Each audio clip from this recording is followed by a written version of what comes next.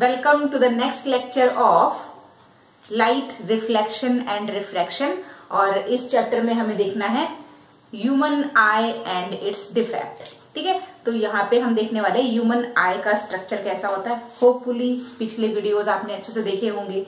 Mirror और lens से किस तरह से इमेज फॉर्मेशन होती है। बहुत इंपॉर्टेंट है मिरर और इमेज मिरर मिरर और लेंस से इमेज फॉर्मेशन एग्ज़ाम में 100 परसेंट एक क्वेश्चन इमेज फॉर्मेशन का आता है और थोड़ी सी प्रिकॉशंस के साथ हम फुल मार्क्स गेन कर सकते हैं। वहाँ पर मार्क्स के डिडक्ट होने का कोई चांस नहीं है। ठीक है? तो थोड़ा सा प्रिकॉशन यदि हम ले प्रॉपरली डिस्टेंस मेजर करें लाइट रेज को एरो से डिनोट करें तो हमारे पास फुल मार्क्स आ सकते हैं। Clear so here we are going to discuss about the structure of human eye और ह्यूमन आई जो है, ये हमारा एक बहुत ही इंपॉर्टेंट सेंस ऑर्गन है। फाइव सेंस ऑर्गन में से एक सेंस ऑर्गन है human eye and this human eye provides us the sensation of sight in human eye photo receptors are present and these photo receptors are sensitive towards the light ठीक है light की sensitivity को receive करते हैं, और light की sensitivity को receive करके हमें विजन प्रोवाइड करते हैं। Clear? So this is the structure of human eye. Basically, the human eye is surrounded by three important layers. So first of all, we have to know about the names of this layer. That is first one, the outer membrane, which protect the eye. That is sclera. So the first membrane is called as sclera. What is its function? It protect the eyes. So the function of sclera is to protect the eye. The second one is choroid. The second layer which is the red one, it is the layer of choroid. And this is a highly vascular layer highly vascular layer and this highly vascular layer is having the proper supply of blood in the eye clear तो highly vascular layer होती है properly blood supply यहाँ पर है और blood के साथ साथ oxygen supply nutrient supply everything is there क्योंकि blood is going to supply everything और transport everything so here proper blood supply is there in the choroid layer clear this is the red colored layer. Uh, i have drawn it with the red color. Third one is the retina. Third membrane is the retina and it is acting as a screen because the image of an object is seen on retina.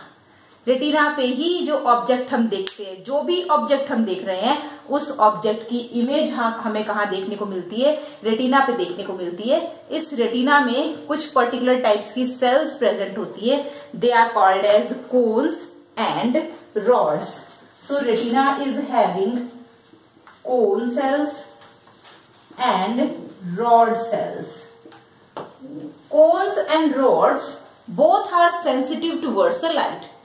Cones are sensitive towards the dim light and they provide vision in the dim light. So these are sensitive towards dim light and rods are sensitive towards bright light. जब light बहुत dim होती है तो cons हमें vision provide करवाते हैं। और जब लाइट बहुत ज़्यादा ब्राइट होती है तो उस टाइम पर ब्राइट लाइट के लिए रॉड्स रिस्पॉन्सिबल होते हैं। They are also responsible for colour identification so rods are also responsible for colour identification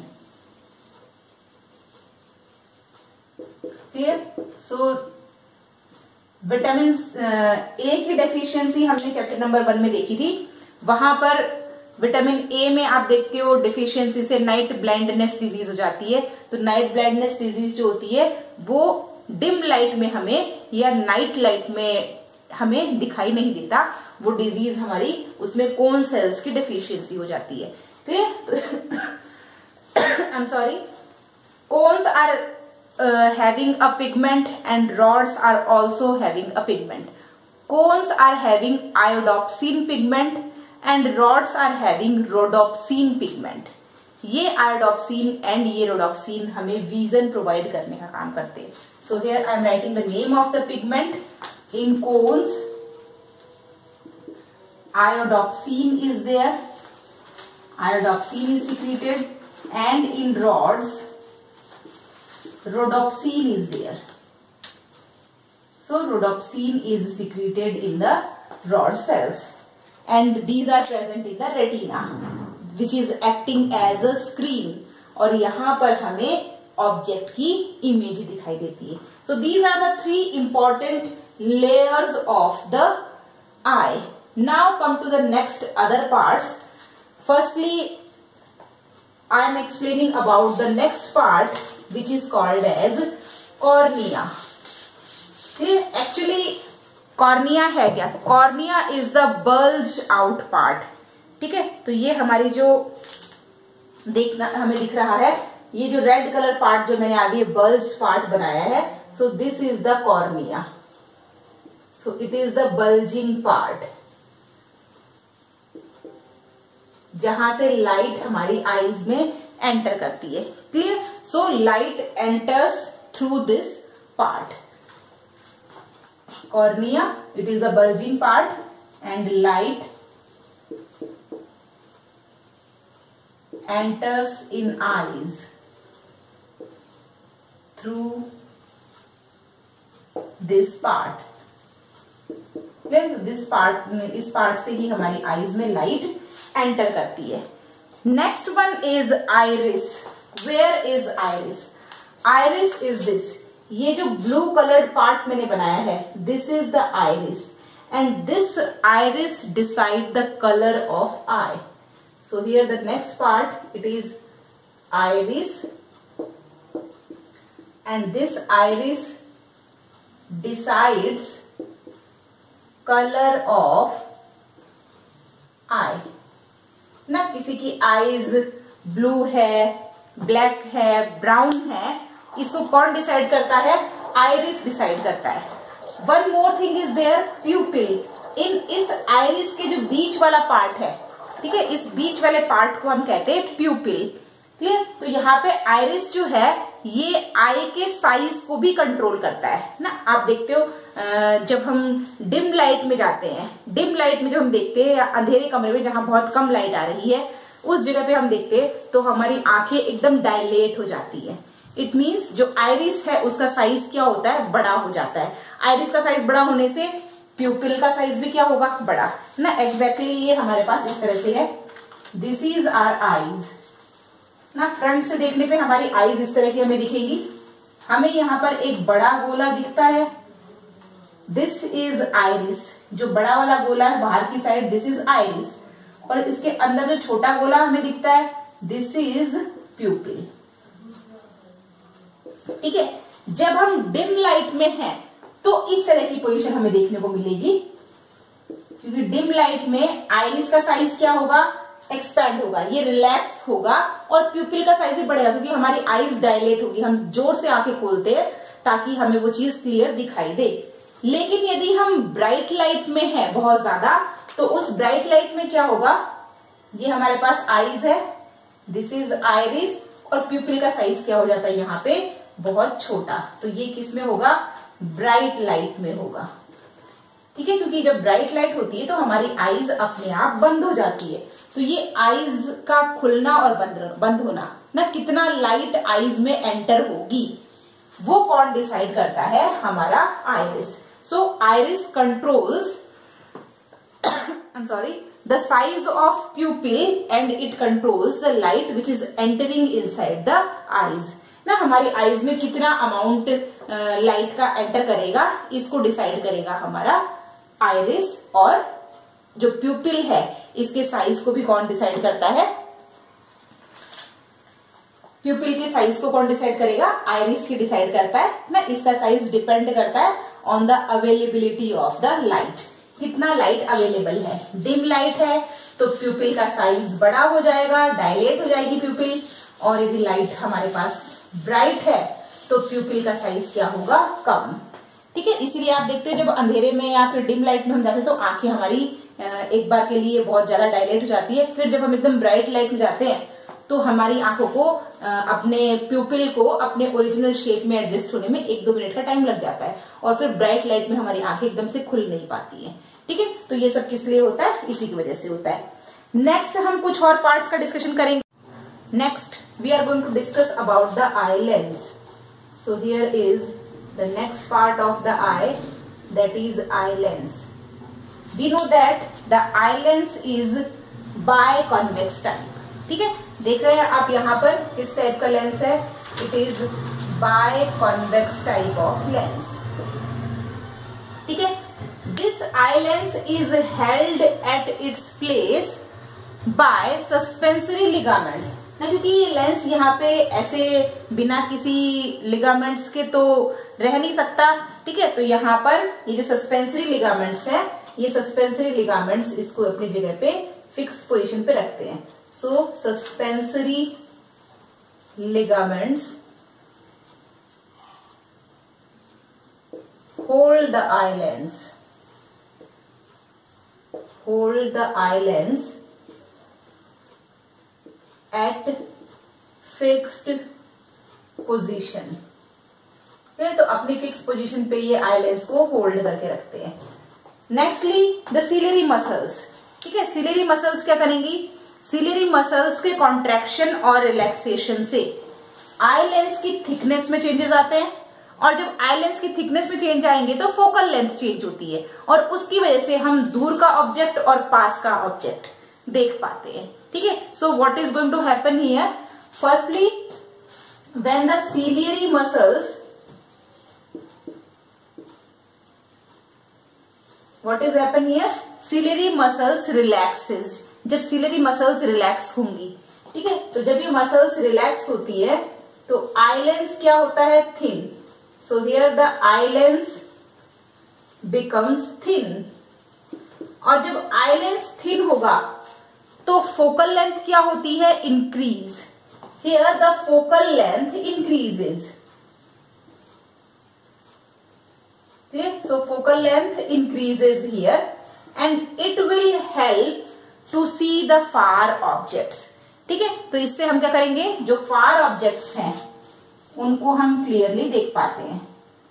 तो फार ऑब्जेक्ट्स हमें क्लियर दिखाई देंगे जब फोकल लेंथ इंक्रीज होगी। Second when the ciliary muscles contract what is happening when the ciliary muscles here the ciliary muscles are getting contracts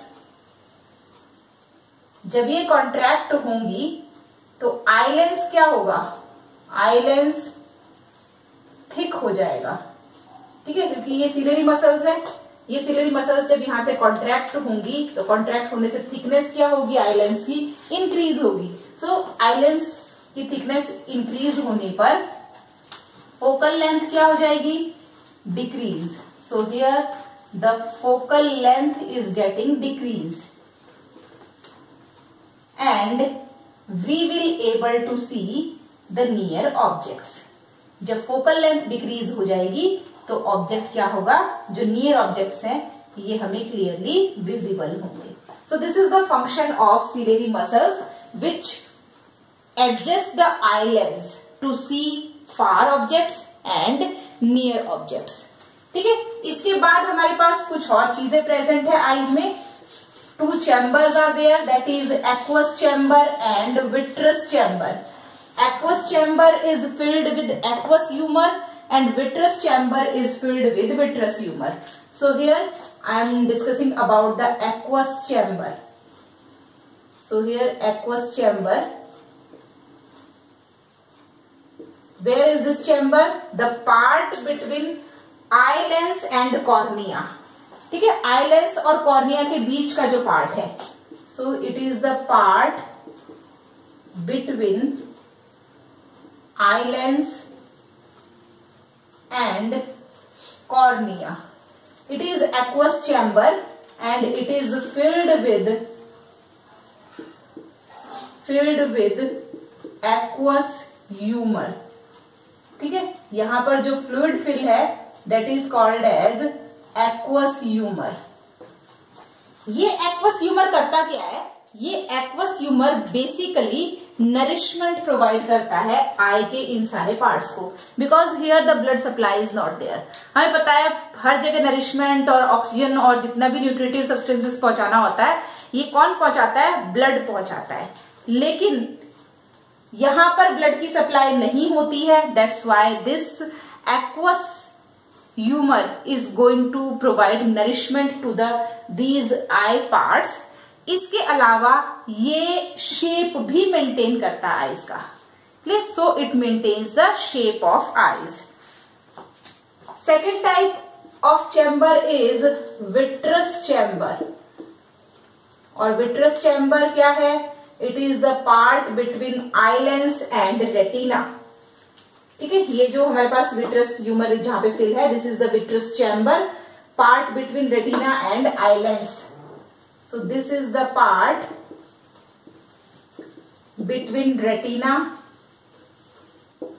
and eye lens and it is filled with vitreous humour it is filled with vitreous humor. What is the function of this vitreous humor? It keeps the retina at its place ठीक है, यदि यहाँ पर ये vitreous humour नहीं होगा तो retina contract भी हो सकता है। तो रेटिना को अपनी जगह पे फिक्स रखने का काम करता है, ये vitreous humour clear now two more things are there that is yellow spot and blind spot this is yellow spot yellow spot is the point at retina where the clear vision is present और the clear image of object is formed सबसे clear image object की कहीं बनती है तो वो होता है येलो स्पॉट ठीक है यहाँ पर एक होल लाइक like, एक डिप्रेशन प्रेजेंट होता है that depression is called as fovea centralis जिसके बारे में हम बायोलॉजी में जब पढ़ते हैं तो वहाँ हमें समझ में आता है। तो यहाँ पर जो डिप्रेशन होता है that depression is called as fovea centralis ठीक है? ये जो पार्ट है, इस जगह पे mainly maximum number of rods and cones आते हैं ठीक है? सबसे ज़्यादा रॉड्स एंड कोन्स यहाँ पर प्रेजेंट होते हैं। इसीलिए यहाँ पर क्लियर विजन है। सो येलो स्पॉट पे क्या होगा? क्लियर विजन सबसे क्लियर इमेज हमें येलो स्पॉट पे ही देखने को मिलती है। Why because rods and cones are maximum इस जगह पे रोड्स एंड कोन्स का नंबर क्या होता है? मैक्सिमम होता है। Second spot is blind spot clear जो ब्लाइंड स्पॉट है, यहाँ पर विजन नहीं होता है। Clear this is the blind spot blind spot पे नो no विजन हमें देखने को मिलेगा। Why there is no vision क्योंकि यहाँ पर रॉड्स एंड कोन्स दोनों ही एबसेंट होते हैं। So here rods and cones are absent so there is no vision at blind spot ठीक है? ये ब्लाइंड स्पॉट यहाँ पे जो ऑप्टिक नर्व्स जहाँ पे प्रेजेंट होती है। ऑप्टिक नर्व्स का फ़ंक्शन क्या होता है? ऑप्टिक नर्व्स का फ़ंक्शन होता है, क्योंकि हमें पता है कॉन्वेक्स लेंस हमारी आईज का लेंस है। ठीक है? और कॉन्वेक्स लेंस से जो इमेज बनती है that is real and inverted image real और उल्टी इमेज बनती है हमारे पास किससे? कॉन्वेक्स लेंस से। हमने पिछले ही लेक्चर में इमेज फॉर्मेशन देखी थी।